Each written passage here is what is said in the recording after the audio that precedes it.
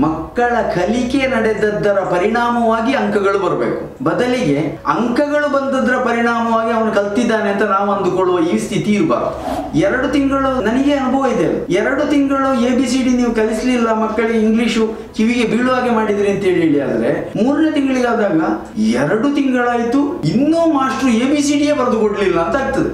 ಗ್ರಾಮ ಪಂಚಾಯತ್. ನಾವು ಕೊಡ್ತೇವೆ ಮಕ್ಕಳಿಗೆ ಪಾಠದಲ್ಲಿ ಹೇಳ್ತೇವೆ. ಆದ್ರೆ ಪಕ್ಕದಲ್ಲಿ ಗ್ರಾಮ ಪಂಚಾಯತ್ ನಡೀತದೆ. ಒಂದು ಸಭೆಗೆ ಹೋಗಿ ಮಕ್ಕಳು ಕೂತ್ಕೊಂಡ್ರೆ, ಅವರನ್ನು ಕೂತುಗೊಳಿಸಿದ್ರೆ ಅದು ಅವರ ಅಧ್ಯಯನ ಅಂತ ಹೇಳಿ ಹೇಳೋದು ರಿಯಲ್ ಅನುಭವವಾಗಿ ಪರಿವರ್ತನೆ ಆಗ್ತದೆ. ಯಾವಾಗ ಅಧ್ಯಯನ ಅನುಭವವಾಗಿ ಪರಿವರ್ತನೆ ಆಗ್ತದೋ, ಅದು ಮಕ್ಕಳಿಗೆ ಜೀವನದಲ್ಲೂ ಯಶಸ್ಸನ್ನು ತಂದು ಕೊಡುತ್ತದೆ, ಪರೀಕ್ಷೆಯಲ್ಲಿ ಒಳ್ಳೆ ಅಂಕಗಳನ್ನೇ ಕೊಡ್ತದೆ, ಕಡಿಮೆ ಮಾಡೋದಿಲ್ಲ. ವಿದ್ಯಾರ್ಥಿ ಜೀವನದಲ್ಲಿ, ವಿಶೇಷವಾಗಿ ವಿದ್ಯಾರ್ಥಿಗಳು ತಮ್ಮ ಅಧ್ಯಯನಶೀಲತೆಯ ಕಡೆಗೆ ಹೇಗೆ ಹೋಗಬಹುದು?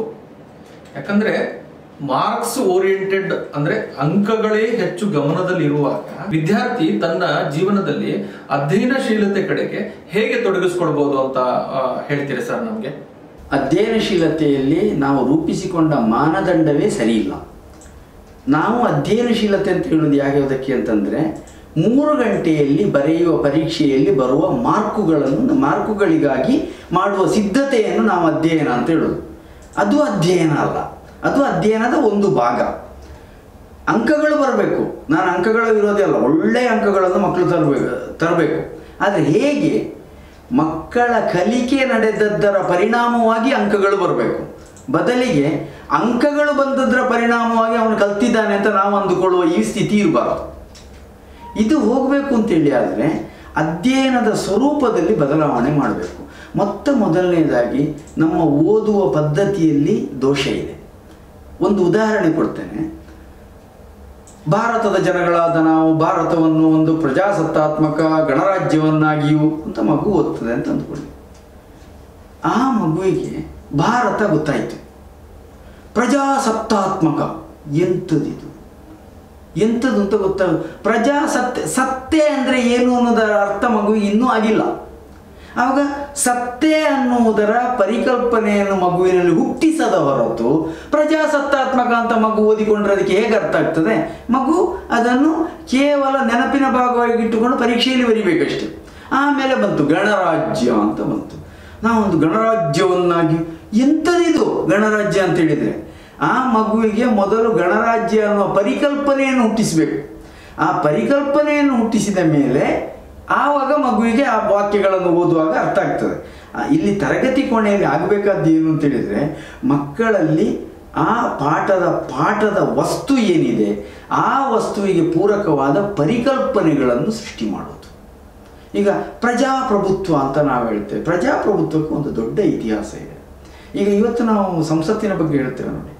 ಇವತ್ತು ರಾಜ್ಯಸಭೆ ಮತ್ತು ಲೋಕಸಭೆ ಇದೆ ಅಲ್ಲ. ಅದೇ ರೀತಿಯ ರಚನೆ ಋಗ್ವೇದ ಕಾಲದಲ್ಲಿ ಇತ್ತು ಸಭಾ ಮತ್ತು ಸಮಿತಿ ಅಂತ ನಾವು ಹೇಳ್ತೇವೆ. ಆದರೆ ಅದು ಯಾವುದು ಅಂತೇಳಿ ಹೇಳೋದನ್ನು ಹೇಳಲಿಕ್ಕೆ ಹೋಗುವುದಿಲ್ಲ ಸಮಿತಿ ಅಂದರೆ ಪ್ರತಿಯೊಂದು ಕುಲವನ್ನು ಪ್ರತಿನಿಧಿಸುವಂಥ ಜನಪ್ರತಿನಿಧಿಗಳ ಸಭೆ. ಇವತ್ತಿನ ಲೋಕಸಭೆಯಾಗಿ. ಲೋಕಸಭೆ ಕುಲ ಅಲ್ಲ, ಕ್ಷೇತ್ರ. ಇಲ್ಲಿ ಕುಲ, ಕುಲವಾದ ಪ್ರತಿನಿಧಿಗಳು ಅಲ್ಲಿರುವುದು ಅಲ್ಲಿ ಪವರ್ಸ್ ಇರುವುದು ಕುಲದ ಪ್ರತಿನಿಧಿಗಳೆಲ್ಲ ಸೇರಿದ ಸಮಿತಿಗೆ. ಇನ್ನೊಂದು ಸಭಾ ಅಂತ ಉಂಟಲ್ಲ, ಅದು ನಮ್ಮ ರಾಜ್ಯಸಭೆ ಹಾಗೆ. ಈ ವಿದ್ವಾಂಸರು, ಪುರೋಹಿತರು, ಚಿಂತಕರು, ಇಂಥವರೆಲ್ಲ ಇರುವ ಸಭೆ. ಅದು ರಾಜನಿಗೆ ಅಡ್ವೈಸರಿ ಬಾಡಿಯಾಗಿ ಕೆಲಸ ಮಾಡ್ತದೆ. ಸಮಿತಿ ಅನ್ನೋದು ನಿರ್ಧಾರಕ ರೀತಿಯಲ್ಲಿ ಕೆಲಸ ಮಾಡ್ತದೆ. ನೀವು ಈ ಪರಿಕಲ್ಪನೆಯನ್ನು ಮಕ್ಕಳಿಗೆ ಕೊಟ್ಟರೆ ಆವಾಗ ಸಭಾ ಮತ್ತು ಸಮಿತಿ ಅಂತ ಮಗು ಓದಿಕೊಳ್ಳುವಾಗ ಅದು ಏನು ಅನ್ನೋದು ಮಗುವಿಗೆ ಅರ್ಥ ಆಗ್ತದೆ. ನಾವು ಸೃಷ್ಟಿ ಮಾಡಬೇಕಾದ ಮೂಲಭೂತವಾದ ಪರಿಕಲ್ಪನೆಯನ್ನು ಮಕ್ಕಳಲ್ಲಿ ಸೃಷ್ಟಿ ಮಾಡೋದಿಲ್ಲ ಇದನ್ನು ಮಾಡಲಿಕ್ಕೆ ಸಾಧ್ಯ ಆಗಬೇಕು. ಆವಾಗ ಮಗುವಿನಲ್ಲಿ ಅಧ್ಯಯನದ ಆಸಕ್ತಿ ಹುಟ್ಟಿಕೊಳ್ತದೆ ಒಂದು ಭಾಗ. ಎರಡನೇ ಭಾಗ, ನಾವು ಬೋಧಿಸುವ ಪದ್ಧತಿ ಇದೆ ಅಲ್ಲ, ಅದು ಎಲ್ಲವೂ ಕೂಡ ಒಂದು ಸ್ಥಾಪಿತ ಪದ್ಧತಿಯ ಯಾಂತ್ರಿಕ ಮುಂದುವರಿಕೆಗಳು.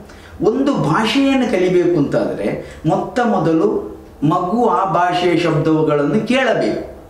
ನಂತರ ಕೇಳಿದ್ದನ್ನು ಅರ್ಥ ಮಾಡಿಕೊಳ್ಳಬೇಕು. ಅಲ್ಲ, ಅರ್ಥ ಎರಡನೇದು. ಮೊದಲು ಕೇಳಬೇಕು ನಂತರ ಕೇಳಿದ್ದನ್ನು ಪುನರುಚ್ಚಾರಣೆ ಮಾಡಬೇಕು ರಿಪಿಟೇಷನ್ ಆಗಬೇಕು. ನಂತರ ಅದನ್ನು ಅರ್ಥ ಮಾಡಿಕೊಳ್ಳಬೇಕು ಆ ಪದವನ್ನು. ಅರ್ಥ ಮಾಡಿಕೊಂಡ ನಂತರ ಅಕ್ಷರವನ್ನು ಗುರುತಿಸಬೇಕು. ಕೊನೆಗೆ ಬರೆಯುವುದನ್ನು ಕಲಿಬೇಕು. ಆಯಿತಾ? ಇದರಲ್ಲಿ ಕನ್ನಡ ಈ ನಾಲ್ಕು ಹಂತಗಳು ಒಂದನೇ ಕ್ಲಾಸಿಗಿಂತ ಮೊದಲೇ ಆಗ್ತದೆ. ಒಂದನೇ ಕ್ಲಾಸಲ್ಲಿ ನೀವು ಆ, ಈ ಬರೆಯುವುದರಿಂದ ಸ್ಟಾ ಶುರು ಮಾಡ್ಬೋದು. ನಾವು ಇಂಗ್ಲೀಷನ್ನು ಅದೇ ರೀತಿಯಲ್ಲಿ ಕಲಿಸಿದರೆ ಮಕ್ಕಳಿಗೆ ನಾಲ್ಕು ಹಂತಗಳು ಎಲ್ಲಿಯೂ ಪೂರೈಕೆ ಆಗಲಿಲ್ಲ. ಎ ಬಿ ಸಿ ಡಿ ಬರೆಯುವಲ್ಲಿಂದಲೇ ಇವನು ಶುರು ಮಾಡಿದ. ಹಾಗಿರುವಾಗ ಅದು ಮಕ್ಕಳಲ್ಲಿ ಅದರ ಬಗ್ಗೆ ಅಧ್ಯಯನಶೀಲತೆ ಬರಲಿಕ್ಕೆ ಹೇಗೆ ಸಾಧ್ಯ?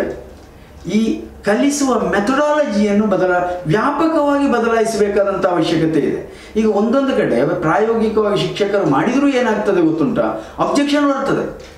ಎರಡು ತಿಂಗಳು ಇದು, ನನಗೆ ಅನುಭವ ಇದೆ ಎರಡು ತಿಂಗಳು ಎ ಬಿ ಸಿ ಡಿ ನೀವು ಕಲಿಸಲಿಲ್ಲ ಮಕ್ಕಳಿಗೆ ಇಂಗ್ಲೀಷು ಕಿವಿಗೆ ಬೀಳುವ ಹಾಗೆ ಅಂತ ಅಂತೇಳಿ ಹೇಳಿ ಆದರೆ, ಮೂರನೇ ತಿಂಗಳಿಗಾದಾಗ ಎರಡು ತಿಂಗಳಾಯಿತು, ಇನ್ನೂ ಮಾಸ್ಟ್ರು ಎ ಬಿ ಸಿ ಡಿಯೇ ಬರೆದು ಕೊಡಲಿಲ್ಲ ಅಂತ ಆಗ್ತದೆ.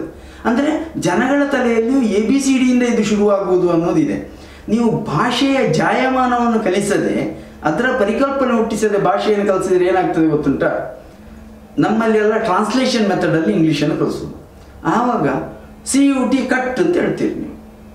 ಆ ನಂತರ ಪಿ ಯು ಟಿ ಪುಟ್ ಅಂತ ಹೇಳ್ತೀವಿ. ಮಗುವಿಗೆ ಗೊಂದಲ. ಸಿ ಯು ಟಿ ಕಟ್ ಆದರೆ ಪಿ ಯು ಟಿ ಪಟ್ಟಾಗಬೇಕು. ಪಿ ಯು ಟಿ ಪುಟ್ಟಾದರೆ ಸಿ ಯು ಟಿ ಪುಟ್ಟಾಗಬೇಕು. ಅಲ್ಲ, ಈ ಸಣ್ಣ ಮಕ್ಕಳಲ್ಲಿ ಬರುವ ಈ ಗೊಂದಲವನ್ನು ಪರಿಹರಿಸಲಿಕ್ಕೆ ನಮಗೆ ಆಗದೇ ಇದ್ದರೆ ಅವರಿಗೆ ಅಧ್ಯಯನಶೀಲತೆಯ ಚಲನೆ ಸಿಗುವುದಿಲ್ಲ. ಅಧ್ಯಯನಶೀಲತೆ ಬ್ರೇಕಪ್ ಆಗ್ತದೆ. ನಾವು ಮಕ್ಕಳನ್ನು ನೋಡುವಾಗ ಗೊತ್ತಾಗ್ತದೆ, ಈ ಬಾಲಮಂಗಳ, ಚಂದಮಾಮ ಇಂಥ ಪುಸ್ತಕವನ್ನು ಎಷ್ಟು ಖುಷಿಯಿಂದ ಓದ್ತಾರೆ ಅವರು. ಆದರೆ ಪಾಠ ಪುಸ್ತಕ ಅಂತ ಹೇಳಿದ ಒಳ್ಳೆ ಹೇಟ್ರೆಡ್ನೆಸ್ ಬರ್ತದೆ. ಹೇಟ್ರೆಡ್ನೆಸ್ ಯಾಕೆ ಬರ್ತದೆ ಅಂತ ಹೇಳಿದರೆ ಪಾಠ ಪುಸ್ತಕ ಅವರಿಗೆ ಹಿಂಸೆಯ ರೂಪವಾಗಿಯೇ ಬಂದಿದೆ. ಆ ಹಿಂಸೆಯ ರೂಪವಾಗಿ ಬಂದಿರುವುದನ್ನು ನಾವು ತೆಗೆಯಬೇಕು. ಆವಾಗ ಅಧ್ಯಯನಶೀಲತೆಗೆ ಮಕ್ಕಳಲ್ಲಿ ಸಹಜವಾದ ಆಸಕ್ತಿ ಬರ್ತದೆ. ಆಮೇಲೆ ಪರಿಕಲ್ಪನೆಗಳು ಅರ್ಥ ಆಯಿತು ಅಂತಂದರೆ ಮಕ್ಕಳು ಓದುವುದಕ್ಕೆ ಒಂದು ವಿಧಾನ ಇದೆ. ಆ ವಿಧಾನ ಹೇಗೆ ಅಂತಂದರೆ ಫಸ್ಟ್ ರೀಡಿಂಗು ಟೆಕ್ಸ್ಟನ್ನು ಪರಿಚಯ ಮಾಡಿಕೊಳ್ಳುವ ಹಾಗೆ ಇರಬೇಕು. ಸುಮ್ಮನೆ ಮೇಲಿಂದ ಮೇಲೆ ನೋಡ್ಕೊಳ್ತಾ ಹೋಗೋದು ಎರಡನೇ ರೀಡಿಂಗಲ್ಲಿ ಪ್ರತಿಯೊಂದು ಕಾನ್ಸೆಪ್ಟನ್ನು ಅರ್ಥ ಮಾಡಿಕೊಂಡು, ಅರ್ಥ ಆಗದೇ ಇರುವುದನ್ನು ಗುರುತು ಹಾಕಿಕೊಂಡು ಮತ್ತೆ ಅದನ್ನು ಅರ್ಥ ಮಾಡಿಕೊಂಡು ಓದಿಕೊಳ್ತಾ ಹೋಗಬೇಕು. ಆಮೇಲೆ ಅದರಲ್ಲಿ ಕೆಲವನ್ನು ಅನುಭವಕ್ಕೆ ತಂದುಕೊಳ್ಬೇಕು. ಈಗ ನೋಡಿ, ಗ್ರಾಮ ಪಂಚಾಯಿತು, ನಾವು ಕೊಡ್ತೇವೆ ಮಕ್ಕಳಿಗೆ ಪಾಠದಲ್ಲಿ ಹೇಳ್ತೇವೆ. ಆದರೆ ಪಕ್ಕದಲ್ಲಿ ಗ್ರಾಮ ಪಂಚಾಯತ್ ನಡೀತದೆ. ಒಂದು ಸಭೆಗೆ ಹೋಗಿ ಮಕ್ಕಳು ಕೂತ್ಕೊಂಡ್ರೆ, ಅವರನ್ನು ಕೂತುಗೊಳಿಸಿದರೆ ಅದು ಅವರ ಅಧ್ಯಯನ ಅಂತೇಳಿ ಹೇಳೋದು ರಿಯಲ್ ಅನುಭವವಾಗಿ ಪರಿವರ್ತನೆ ಆಗ್ತದೆ. ಯಾವಾಗ ಅಧ್ಯಯನ ಅನುಭವವಾಗಿ ಪರಿವರ್ತನೆ ಆಗ್ತದೋ, ಅದು ಮಕ್ಕಳಿಗೆ ಜೀವನದಲ್ಲೂ ಯಶಸ್ಸನ್ನು ತಂದು ಕೊಡ್ತದೆ, ಪರೀಕ್ಷೆಯಲ್ಲಿ ಒಳ್ಳೆ ಅಂಕಗಳನ್ನೇ ಕೊಡ್ತದೆ, ಕಡಿಮೆ ಮಾಡೋದಿಲ್ಲ.